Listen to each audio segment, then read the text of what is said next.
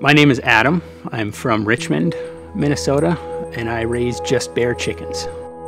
My family has always made volunteering an important part of what we do, and that was what helped me decide to join the fire department. When we're responding to a call, all of your emotions are, are always running. Um, you're always thinking about what type of call it is, what assistance is going to be required, what we can do on a given call. Also, we have to make sure that we're not putting ourselves into harm's way when we're helping somebody else.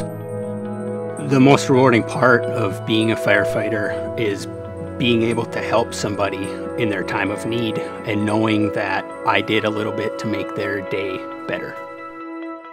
I see raising chickens as another form of service because I've been entrusted with the task of putting the best food possible on families' tables.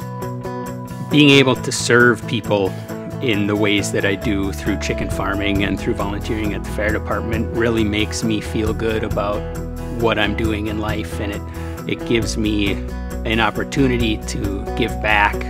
And that, that's really what's important to me in life.